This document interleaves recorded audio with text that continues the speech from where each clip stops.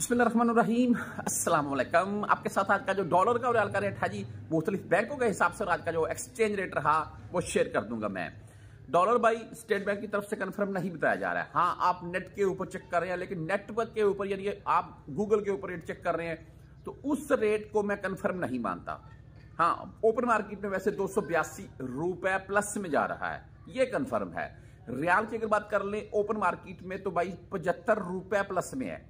Seventy five यानी पचहत्तर के पचहत्तर के अराउंड पे बोल रहे हैं आप। वो दस पैसे बीस पैसे कम दे रहा है को दस बीस पैसे ज़्यादा दे रहा है। अगर हम मुख्तलिफ़ बैंकों के हिसाब से बात करें तो यहाँ पर एक चीज़ मैं और आपको बता दूँ। एक भाई या, आ, मैं शायद एक वीडियो उसके मतलब बनाकर लगा दूँ कि वो गिरफ़्तार हुए हैं जी सऊदी अरेबिया एयरपोर्ट से जद्दा बकायदा। और उनके पास था क्या? ये जो आपने देखा होगा अक्सर सपारियाँ खाते हैं हम। तो इसी तरह की कोई वरायटी लेकर जा रहे थे, उनको जद्दा एयरपोर्ट से पकड़ लिया गया है। तो मैं एक वीडियो अलहदा बनाकर शेयर कर दूँगा। परदेसी भाई एहतियात करें यार, अभी पहले वाले सीन नहीं है कि आप अपना साग भी लेकर जा रहे हैं, बर्फ़ी भी लेकर जा रहे हैं, फक्की भी लेकर जा रहे हैं, किसी के लिए तेल भी लेकर जा रहे हैं, किसी ने सब्ज़ी, किसी के लिए गजरेला, ये चीज़ें अभी भाई मत लेकर जाएँ, खासकर लिक्विड जो चीज़ें हैं। और खासकर ये देसी जो हिकमत की चीज़ें हैं, ये तो बिल्कुल मत लेकर जाइएगा। बारह रेट के मतलब बात करते हैं जी। अगर हम बात कर लें आज टेली मनी यानी कि ए एन बी बैंक की। तो इनका भाई, आज का रेट रखा तिहत्तर रुपए चौरासी पैसे। अच्छा रेट है, दस, सत्रह और तेईस रियल फ़ीस के साथ। अगर हम मनीग्राम की बात करें तो मनीग्राम वाले भाई, आज का रेट तिहत्तर रुपए पचहत्तर पैसे दे रहे हैं। दस, सत्रह और तेईस रियाल इनकी भी फ़ीस होती है। अगर हम बात कर लें तहवील राज़ी राज़ी बैंक की भाई तो इनका आज का रेट रहा सॉरी तिहत्तर रुपए छियासी पैसे, दस, सत्रह और तेईस रियाल फ़ीस के साथ।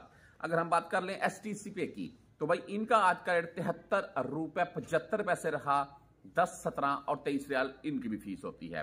फौरी बैंक बैंक जजीरा की अगर बात करें तो भाई इनका आज का रेट है तिहत्तर रुपए बयासी पैसे, दस सत्रह और तेईस रियाल फ़ीस के साथ। अगर हम बात करें जी इंजाज बैंक की, यानी कि इंजाज बैंक से अगर आप भेजना चाह रहे हैं तो भाई इंजाज बैंक का जो आज का रेट है वो है जी तिहत्तर रुपए सतासी पैसे। अच्छा रेट दे रहे हैं इंजाज बैंक वाले भी, दस सत्रह और तेईस रियाल फ़ीस के साथ। अगर आप क्विक पे से भेजना चाह रहे हैं तो क्विक पे तिहत्तर रुपए छियानवे पैसे, बेस्ट रेट दस, सत्रह और तेईस फ़ीस और अगर हम बात कर लें भाई फ्रेंडी की तो फ्रेंडी वाले आज का जो रेट दे रहे हैं, वो तिहत्तर रुपये तिहत्तर पैसे है, दस, सत्रह और तेईस फ़ीस के साथ।